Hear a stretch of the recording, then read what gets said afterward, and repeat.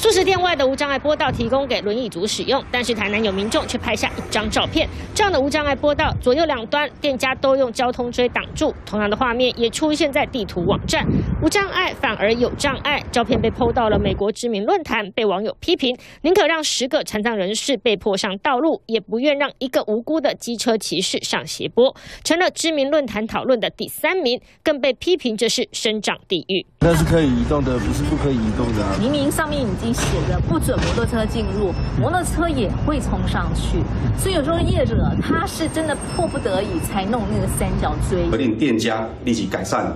啊，勿再有妨碍通行之行为。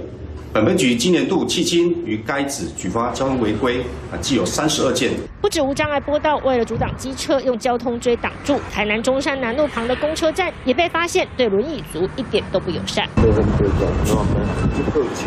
公车站两旁各三根的防撞杆，乍看是保护公车站，但是这个缝隙空间，民众质疑轮椅族过得去吗？六根防撞杆直接竖立在人行道的正中央，其中一根已经被撞断。一些安全的设施。视觉上让机车觉得有障碍，所以减少机车违规穿越的机会。主管机关表示，这个车站每天搭车大约有五百人次，设计防撞杆后侧留了九十到一百二十公分的空间，让轮椅族可以绕行，只不过得绕来绕去。机车违规冲上人行道的状况频频发生，主管机关和业者想尽办法要阻挡，结果反而让最需要帮助的轮椅族可能得冒险出入。该怎样改进，可得更加周全。